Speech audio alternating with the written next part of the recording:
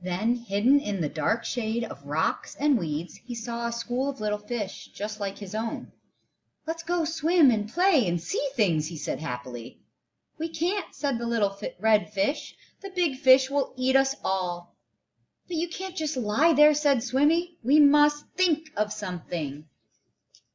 Swimmy thought and thought and thought. Then suddenly he said, "I have it! We are going to swim all together, like the biggest fish in the sea." He taught them to swim close together, each in his own place.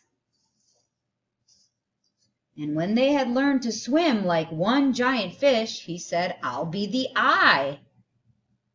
"Hmm, I don't understand this plan.